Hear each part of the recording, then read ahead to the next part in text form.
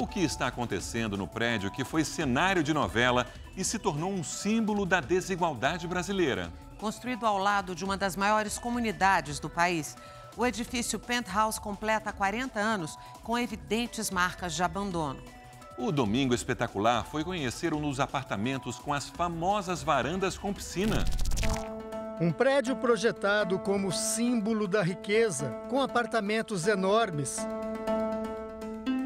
sacadas com piscinas particulares. De frente para uma das maiores comunidades de São Paulo. Um projeto que se transformou num retrato marcante da desigualdade social no Brasil. É um projeto bem diferente. Ele foi por muito tempo fazia parte dos livros de arquitetura. A paisagem dos 13 apartamentos é Paraisópolis, onde hoje vivem cerca de 100 mil pessoas. Muitos moradores cresceram olhando mais acima o prédio imponente num dos bairros mais chiques da época. A gente vê um prédio daquele com piscina e o contraste aqui, nós, dificuldades, sem água, sem luz, sem emprego.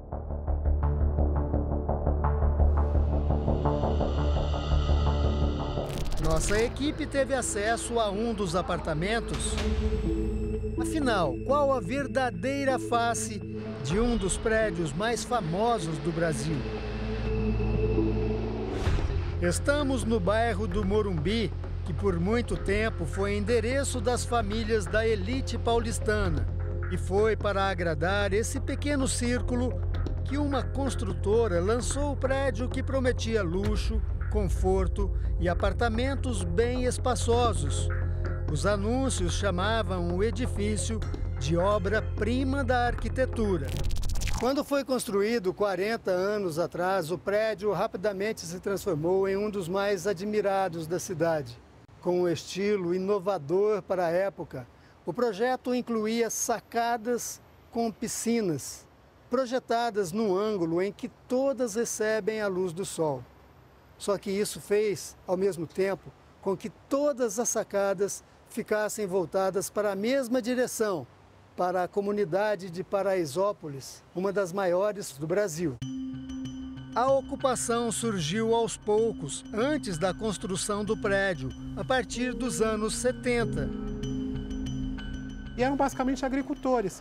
Plantavam-se cana, é, você tinha chá, você tinha uma série de pessoas produzindo coisas aqui. E à medida em que houve essa grande ocupação e esse boom imobiliário na região, as pessoas vieram trabalhar nessas obras, fazendo uma ocupação desordenada numa área 100% particular. Esta foto, feita na década de 80, mostra uma Paraisópolis ainda em crescimento, com poucas casas e ruas de terra. Ao fundo dá para ver o edifício, na época recém-construído. A imagem, símbolo das profundas diferenças da sociedade brasileira, que repercutiu no mundo e ilustrou livros de geografia, foi provocada também por uma questão de zoneamento urbano. Paraisópolis ele se inseriu numa área que não podia, lá na década de 70, construir prédios. E bem na divisa ali já pode. Então ficou esse, essa coisa de uma construção horizontal né? e a verticalizada. Então tem aquele impacto porque é bem na linha de divisa do zoneamento. Dona Helena vive em Paraisópolis há 55 anos. Ela se lembra de quando o prédio foi construído bem ali, na fronteira entre dois mundos tão diferentes. Vontade que a gente tinha, no, na, no caso, era de ser dono de um apartamento daquele. Claro que nunca, mas passava na cabeça da gente. Mas afinal, como é por dentro o prédio que despertou tanta admiração em tanta gente? Nós fomos conferir. Olá, tudo bem? bem? Tudo, e você? Beleza? Meu nome é Raul, prazer. É Tereza. A Tereza é uma das moradoras Isso. mais antigas aqui é do, do, prédio, prédio né? É verdade. Mora aqui há quanto tempo? Olha, que eu tenho imóvel há 40 anos. 40? Bom, então quando, desde quando o prédio desde foi construído? O prédio foi construído. O apartamento é amplo, com salas dando para várias sacadas.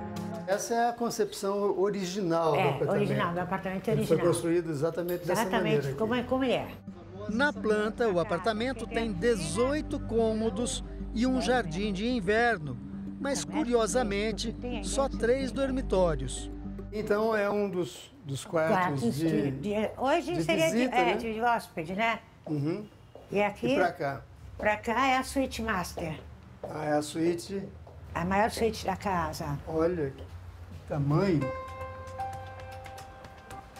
Tá explicado por que três quartos. Só a suíte tem 80 metros quadrados, com banheira de mármore, dois closets e sacadas. É maior que muitos apartamentos atuais.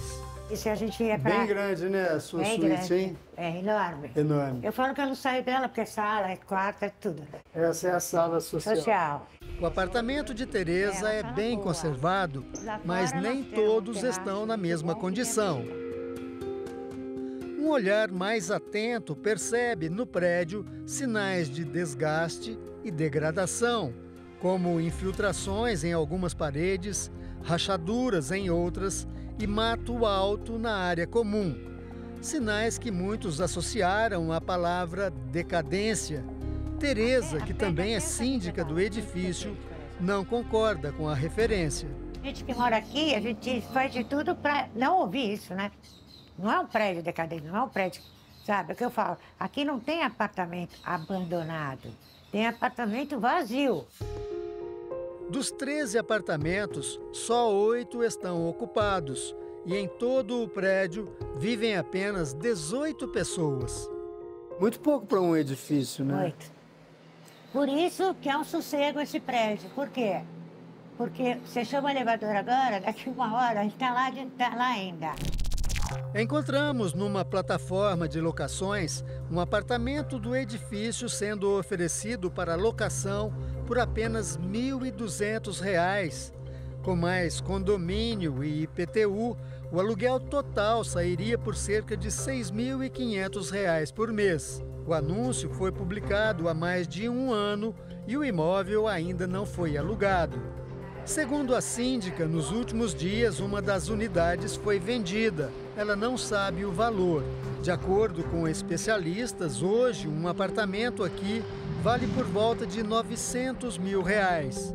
Mas há relatos de proprietários que chegaram a vender um apartamento nesse edifício por 500 mil reais, muito menos do que um imóvel equivalente na região. Segundo a síndica, a manutenção às vezes é prejudicada por inadimplências, que, segundo ela, já foram mais constantes. Na época da inadimplência, o prédio ficou um pouquinho prejudicado. Mas hoje, graças a Deus, nós já estamos melhor. Bem melhor. Nossa inadimplência melhorou muito. O condomínio até contratou um gestor para tentar arrumar as contas. Hoje, é, o caixa não está tão saudável e essa estruturação, esse planejamento vai trazer para a gente força para tá, pintura do prédio, segurança por fora, mexer na portaria, fazer um, uma revitalização no prédio como ele merece.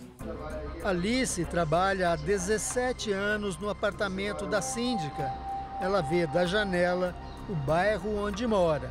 Ela veio do Paraná para trabalhar na cidade grande e foi na comunidade que ela conseguiu um espaço para viver e criar os 11 filhos.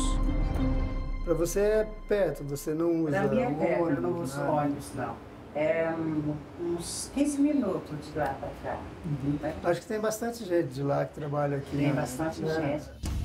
Hoje, em contraste com o prédio, o agora bairro está em franco crescimento e urbanização. A gente ama Paraisópolis.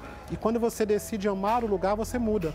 As pessoas que se mudaram daquele prédio deixou de amar aquele prédio. Então, é impossível você fazer uma grande transformação na sua casa, no seu apartamento, na sua rua, se você prefere não estar ali. Nós queremos transformar, queremos rua asfaltada, queremos condo- condomínio, queremos moradia digna. Então, essa mobilização e este amor por Paraisópolis tem nos levado à construção de um bairro diferente, mais seguro, com mais oportunidades e mais integrado à cidade.